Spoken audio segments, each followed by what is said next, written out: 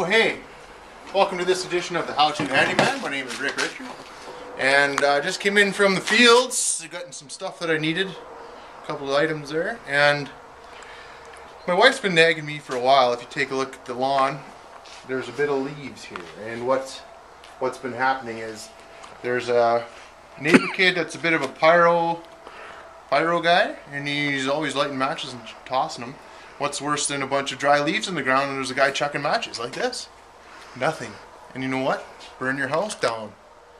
And the next thing you know, your sofa catches on fire. And then you don't have any any place to sit when you're out having a couple of, you know, Great Westerns sitting by a nice fire, right? So I'm getting safety geared up here. You don't want to miss out on a respirator. Also got my Carhartt on.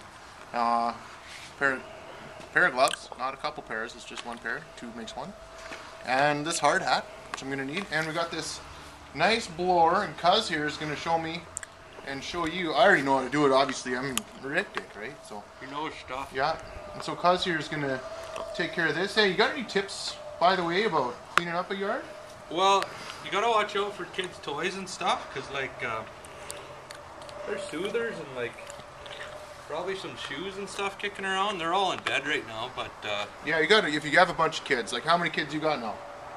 Like I think there's six or seven now. Yeah, yeah, you were getting up there. I didn't count last time I was in there having a few elk steaks. Yeah, like yeah, the ones few. you shot. I remember that was delicious. Yeah. We put this special sauce on that I made, yeah. and I made it out of fish. I made a fish sauce for this for the elk. Anyway, yep, we take this off. Okay, there's a fully functional blower here.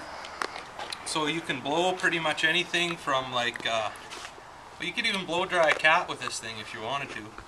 But uh, we uh, basically, you take this off by twisting that. That releases the cam that's holding that there. You take that off. That'd be your outtake valve. So here, you want to hook up the vacuum part of this where the bag uh, collects all the leaves here.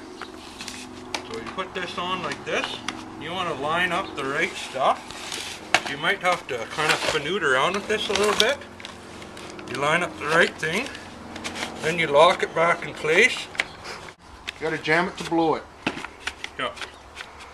So this becomes your vacuum tube. Reach down to the ground. So like, here we hook it up again, like find the right spot. Lining up the notch. Yeah. You know, it's a lot like a good hockey lineup. Mm-hmm. They all have to fit. Yeah. I'm talking about like the Moose Jaw Warriors here. Like, that's a team. Yeah. Well, 2012.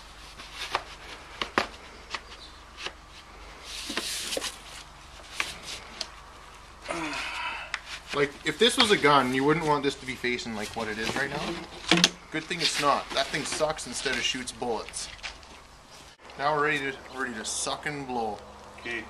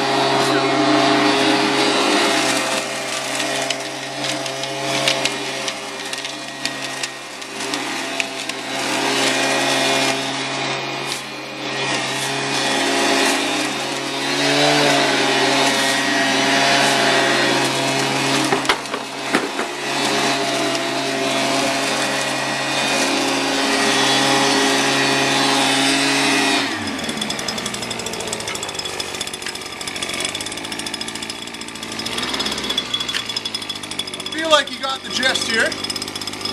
And in no time, we'll have a nice clean yard that's danger free. And that's one thing we stand for here is free from danger. I'm Rick Richard, the House Handyman, and I'll see you next time